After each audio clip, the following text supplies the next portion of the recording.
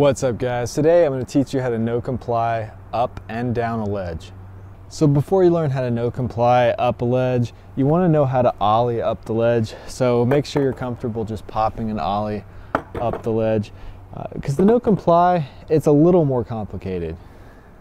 So at the no comply off of a ledge, I'll have my back foot right over the tail, my front foot over the front bolts. I'll get about like right here and I'll just step off just tap my foot and just barely tap the tail.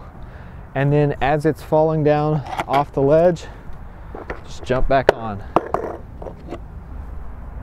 With the no comply up the ledge, it's the same foot position. I've just got my back foot on the tail, front foot right behind the front bolts, and I'll get about a foot away, pop, push with my back foot, just slam the board into the ledge and then jump off the front foot and get up on there. I really like doing no complies. These aren't the best no complies, but they're still fun. Uh, it's something that I'm not really good at. I can do like the backside 360 no complies and then no comply shoves pretty good. But no comply up and down stuff is not really my forte, but I still have a lot of fun doing it. It just, it feels so good and stylish to just do a little quick no comply, just tap your foot coming off of a ledge. It just feels better than ollieing off of it sometimes. It's one of those tricks that's really cool, but it just kind of goes in and out of fashion. Anybody that follows this page got this?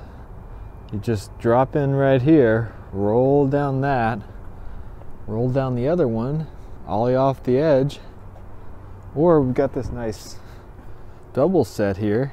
It's only like 30 feet down. These, I would really like to skate some of these things. I used to skate these benches, but some of these little tables used to do manuals on. Uh, that might be a good spot. It's really loud over there, so I'm gonna explain this stuff over here. It's actually really loud over there too though. So the tail, as soon as it hits the ledge, it evens the board out.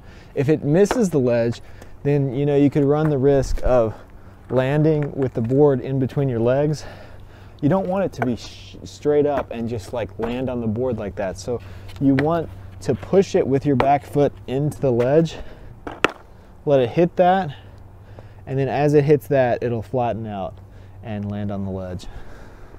One thing, one thing that has really helped me in this video is I've got these really soft Ricta Cloud wheels and they just roll over anything. This ground is really rough up here uh, but they're just doing a great job at rolling over all the little pebbles.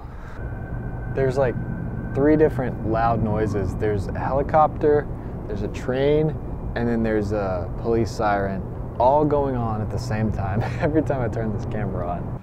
So I really hope you guys enjoyed this video. If you like this kind of content, reviews, tutorials, and videos about what I'm learning as I grow as a skateboarder, hit that subscribe button, and thanks for watching.